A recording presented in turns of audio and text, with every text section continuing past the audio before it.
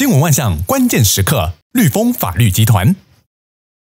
我们为什么这么关心马祖这件事情？是哎，今天两岸其实是在升高当中哦。你在升高当中的时候，台湾如果说我真的做好备战，我真的是物是敌之不来，是无有以待之，你不敢动我，那我们可能觉得我还可以过过安全的日子。哎，先刚刚讲到，今天麦卡锡，第一个你有可能来。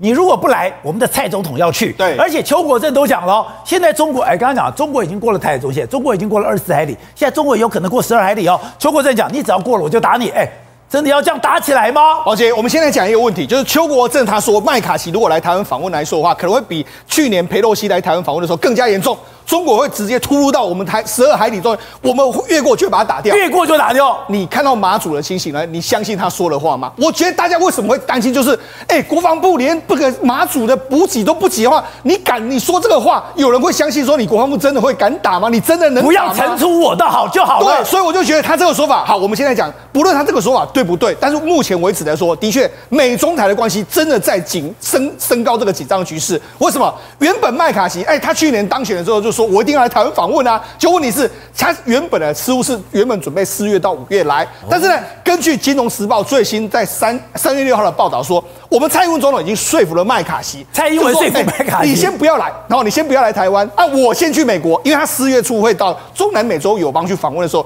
他会过境到美国纽约跟加州。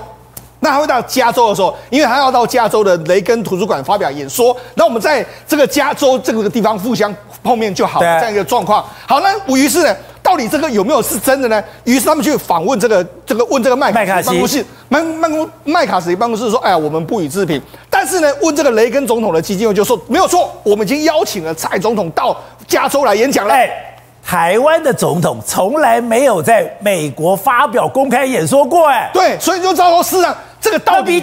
比李登辉回到了他的母校还更严重对，所以这是到底麦卡锡来台湾访问比较严重呢，还是蔡总统到纽到这个加州呢雷根图书馆里面去演讲比较严重呢？现在就是这个其实紧张的局势正在升高之中，所以不敢讲都在升高。对，那为什么都在升升高？我觉得目前为止来说，美国也是似乎他意识到这一点。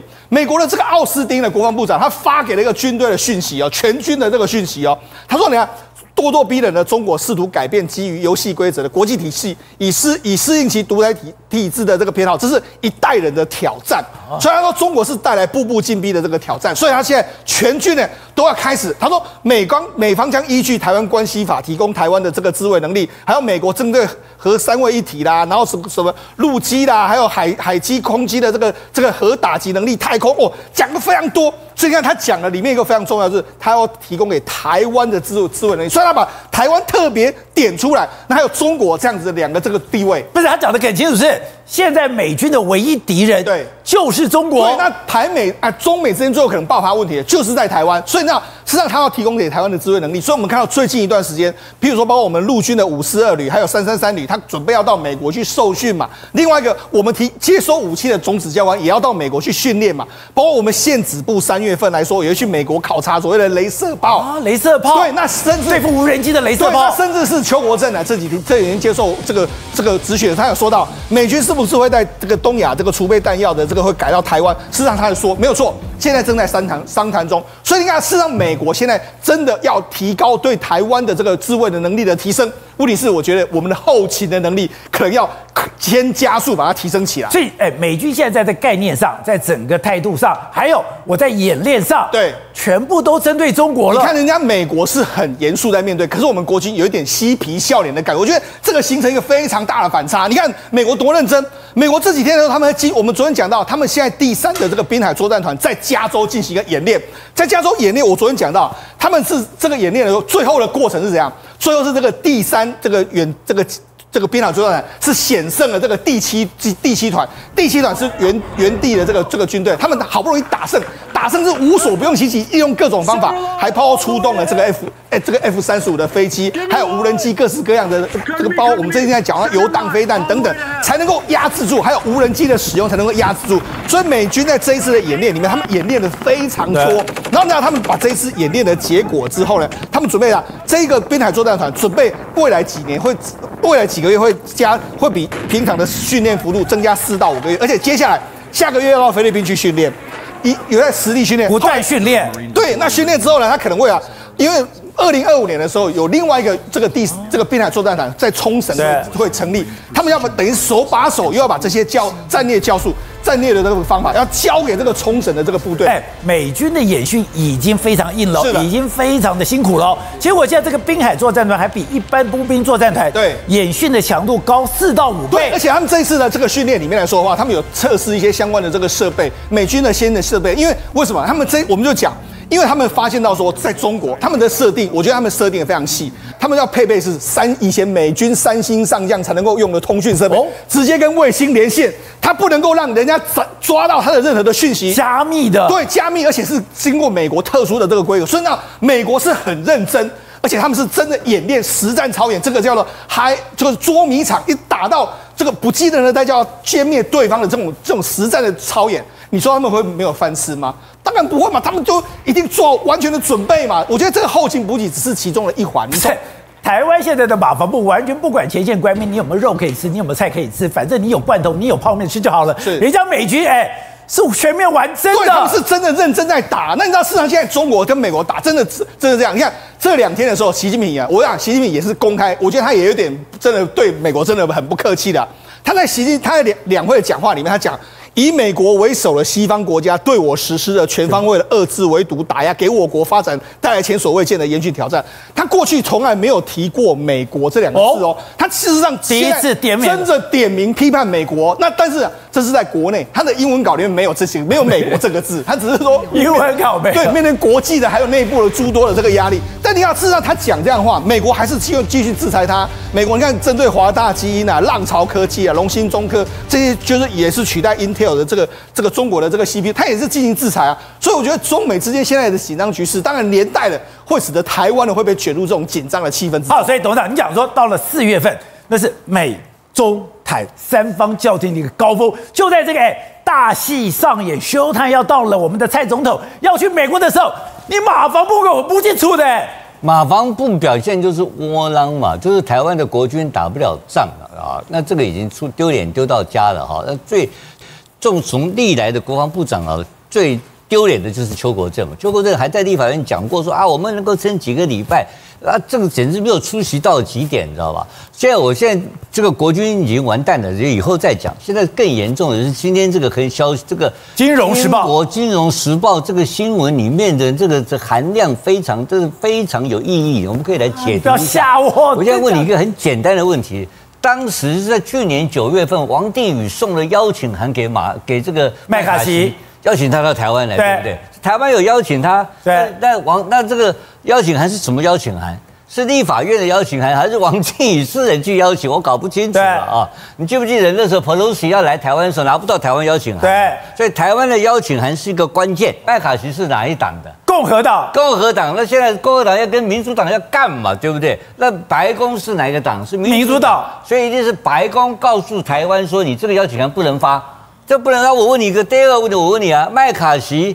要到台湾来，他的目的是要见蔡英文总统，还是要挑衅中国？哪挑衅中国，好，那现在他的目的是挑衅中国，现在变成加州见蔡英文，这个是什么名堂啊？这什么名堂加州见蔡英文，中国会紧张吗？会甩吗？麦卡锡在加州见蔡英文，根本这个东西莫名其妙一个事哎，情。可是蔡英文到了加州，到了蔡英文到加州有什么稀奇呢？而且公开演说，哎不我现在，我现在问你，到这他要麦卡锡在他明年要选举，他当强势的议长，对。他到台湾来跟习近平干，全世界媒体报道，对。这个时候他大牌打背，我在风风火火之中，对。中国的威胁之下降落在松山机场。才，能够吃到新闻，对不对？他到了到了加州见蔡英文，那个国际新闻会报吗？不会这所以说嘛，麦卡锡一定是想来不能来嘛。被戳掉了。这被搓原子汤戳掉了嘛？我把那个英文《金融时报》的原文念给你听啊。他讲的台湾的官员告诉麦卡锡的团队，什么团队呢？说习近平的情况啊，现在不是很好，就是意思就是，他的原文我念给你听了啊。他的 not in good situation right now，不是在非常好，目前不是在非常好的状态。对什么意思？他打你，他再念一遍。Not in good situation right now，这是《金融时报》的原文，而这是谁跟谁讲的？是台湾的官员告诉麦卡锡，恐吓你，真的会打。不是你不要来。然后邱国正讲他会进十二海里，但，不，那是邱国正讲，邱国正放狗屁，那个人没有信用可言，不要谈他了嘛，就不值得一提。现在关键是台湾的官员去告诉麦卡锡说，习近平中国共产党就 Chinese Party Communist Party。中国共产党现在的情况不好，不是很好。但是，但是后面的话什么话我不知道。那一定是恐吓麦卡锡，如果你来的话，情况比 Pelosi 更严重，那就是要打嘛。那麦卡锡一听就没话讲。那我跟那麦卡锡真的会那么想跟蔡英文见面吗？蔡英文是什么样的？是一个要下台的总统哎。如果我是美白宫的话，你知道吗？现在连共产党对蔡英文都没兴趣啊，真假的？关注在赖清德嘛。关注在侯友谊，谁是 coming president？明日之星是谁？谁管你要卸任总统？讲的很大伟啊！二十四海里、十二海里，因为不会来的嘛，那不会来就不会打了嘛。这四月份去有什么意义？他去的目的，你看他原文怎么讲的？他到中南中南美洲去参访，顺便到加州嘛。这个哪里有超过李登辉？没有吧？李登辉是专程访问。李登辉为什么搞掉要搞掉飞弹试射？就是李登辉是用总统身份接受美国人邀访，直接到美国本土。哎，那个开玩笑啊，那等于是主权承认呢。那个那个这个是这是你摆 pass，你是路过经过加油一下，跟在路上溜溜达，那是至于世界的这种航空公约的规定，他都可以找到一个路线可以去跑一跑。所以那个李你刚刚讲的李登辉跟蔡英文是天差地的规格。那这个东西就是。蔡英文帮助美国解决了麦卡锡的问题，这里面代表什么东西？你知道吗？我告诉你，很简单，老美跟老共一定有交易嘛，他们交换到新的东西嘛，什么东西我不知道，很可能就是买美金。你看看叶伦要去北京了，有花样在后面。好，对的。现在中国真的哎，他在一个不好的一个状况下，两岸真的关系有这么紧张，而且紧张到哎，现在东亚的弹药库要放在台湾了。那么台湾的这个国防部长邱国正呢，那么他直接讲啊，台美双方正在洽谈，还在研议，不会照单全收。他在这样讲，意外的证实一件事：我们跟美国正在谈啊，你知道吗？我们跟美国正在谈，是不是把相关弹药在台湾那么弹药库呢事先放好嘛？那么当然，我们当然不会照单全收。为什么？我们会希望我们要的，然后呢，美国呢又可以用的。那为什么要这样做？不要忘记哦，国美国国防授权法里面有规定，危急状况下就可以这样干。那请问什么叫危危急状况？危急状况是谁来定？还有一件事，那把这些弹药放在台湾，一定是台湾跟美国可以一起用的嘛？一起用？请问一下，为什么？什么叫一起用？各位不要小看那个美美国海军陆战队的滨海战斗团呢？为什么？为什么很多人问说为什么只有两千人？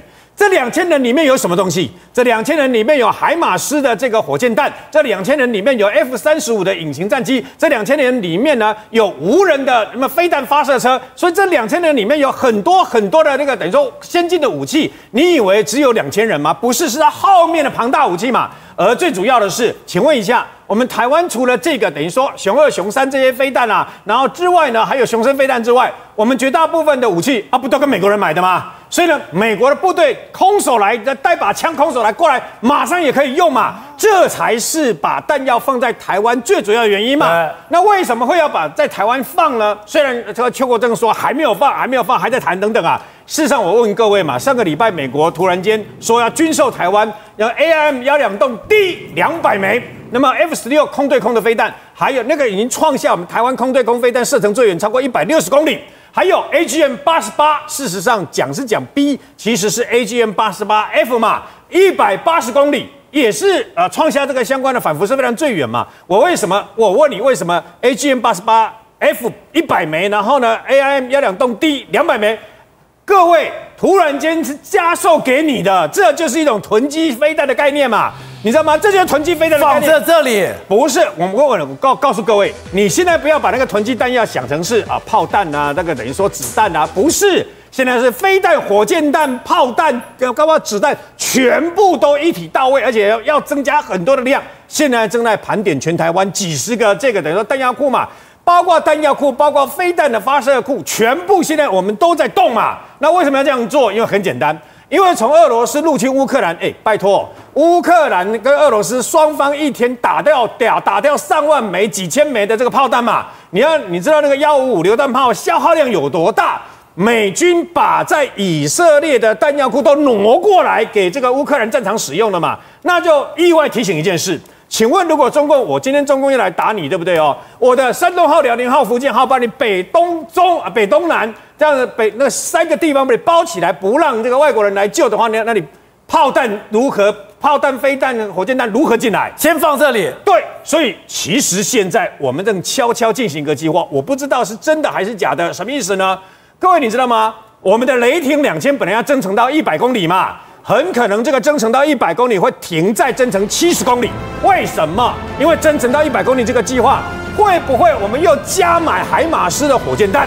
现在三百公里射程的海马斯火箭弹是八十几枚，然后七十公里的海马斯火箭弹是八百四十二枚。我们可能也会增加这些所谓海马斯火箭弹的这个量。